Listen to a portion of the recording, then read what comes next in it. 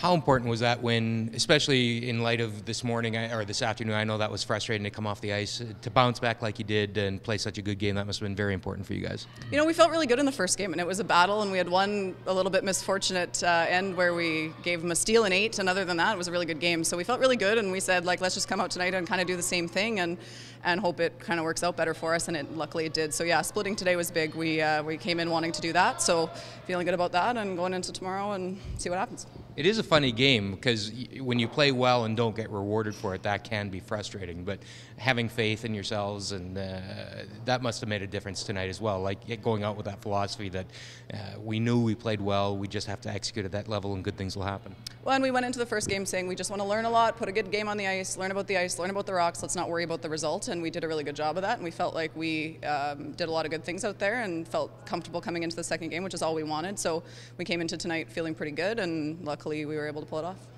close to home for you. Uh, must a lot of familiar faces out there. I'm sure that you're seeing in the stands, even though you're supposed to not look around. But uh, even then, I mean, playing back in Manitoba, that must be a good feeling for you.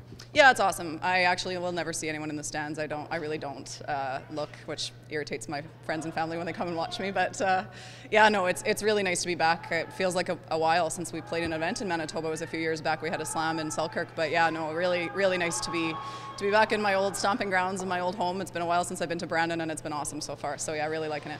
And just uh, a comment about uh, Pat. Obviously, still a get to know you process, uh, know him by reputation and a little bit, I'm sure. But uh, what are you appreciating about him, maybe that you didn't know about him after a couple days working with him? Pat's been amazing, and we, we sort of we, we felt like he would be. That's obviously why we asked him to come. But he's very knowledgeable about uh, arenas and about big events and things. So you know, it's not necessarily stuff that we never thought of, but it's maybe a little different take on some things. And he's brought a lot to the table, and he's a very calm presence for us, which is good because Amy and I are, and that's what Charlie always did so well. That Pat's also kind of stepping in seamlessly to do. And when we've had him out there for timeouts, it's it goes really well because we we really value his opinion and we know that he knows what he's talking about. So it's nice to have him weigh in and give us a vote on what we should play. Two and zero, oh, you beat the world champs. Uh, um, and yet, I imagine you don't want to get too far ahead of yourself here. This is just the first day of the Home Hardware Canada Cup. Yeah, for sure. Two wins. I've never seen make playoffs in Canada Cup in a 17 field, so we definitely need some more. But it's great to have a good start. Well, and, and let's talk about that perspective of it. I mean, you guys clearly showed a, a, comfort level, not just with the surroundings, not just with the event, but with the ice and the rocks. That's huge between the ears, isn't it? Yeah, for sure. We got a comfortable uh, feel for the ice. Uh, we weren't quite as good tonight, but uh, we escaped some trouble early in the game, so happy about how it ended up.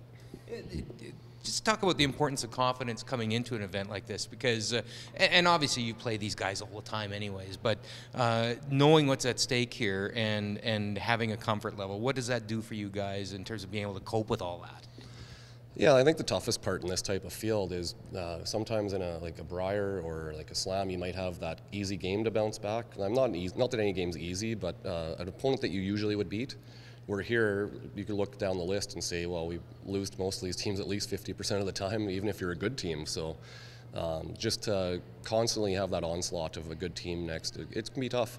So what's the attitude going into tomorrow? More of the same, obviously, but uh, saying it and doing it are two different things sometimes. Yeah, I think sticking to our process, sticking to our game plan, and just getting a little bit sharper. I think we could have been a bit better today, but I think everyone's going to get better as the week goes on. So it just got to be a little bit better tomorrow. I think we're going to have some tough games coming up. Um, we just came out strong. Um, we had a few hiccups uh, along our way, but um, we bounced back from them and uh, came back and uh, held our lead, and we kept control of the game, and we capitalized whenever the opposition missed. That's the thing in an event like this. When you when you see all these teams that you know about, you're one of them, obviously. Uh, if things don't necessarily go your way, it'd be easy to just fold up your tents and say, "This is not our day." But you guys didn't do that at all. Yeah, for sure. Um, I know uh, some teams do that, and even sometimes we do. But uh, we definitely have really.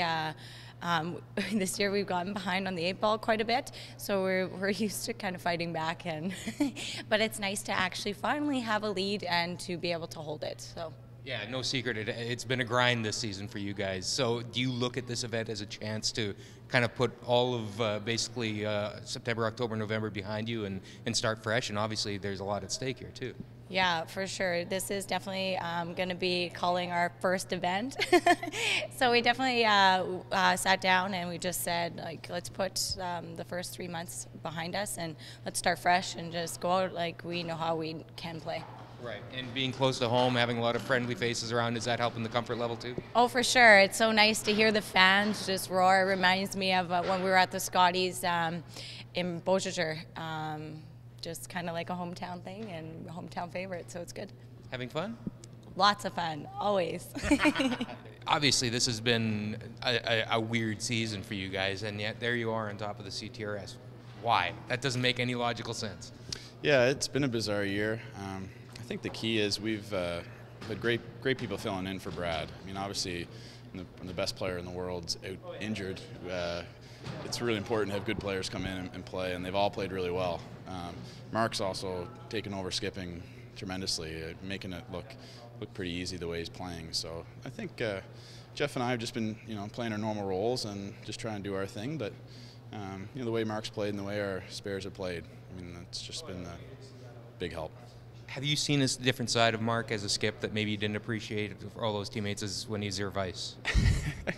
you, you, start, you start seeing he's been skipping now for so many events. He's starting to get those skipping tendencies. You know, we we put the wrong pulled the wrong rocket to the corner for him one, one time, the wrong color, and he got a little uh, got a little irritated there. So I said, "That's a skip move there to get to get that." But no, he's. Uh, I mean, he's, he's, he's playing well. It's, it's a different position. There, it's uh, can be stressful at times, but he's handled it really well. So.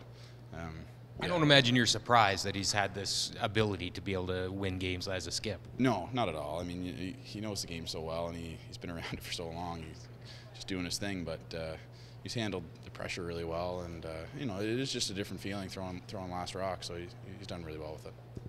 And yeah, okay, I will ask. Uh, you and Charley obviously have a history. 2007 junior final. Um, you know all about him as a player, obviously. What does he do for your team? Oh, he's such a great player. He's, he's, he's been a great player ever since you know we ten years ago we, we played junior. So uh, I have a lot of respect for him. I always have, and uh, to bring him on the team, and he's played with Geoff before, so they have a good uh, good chemistry, and uh, he's fit in really well.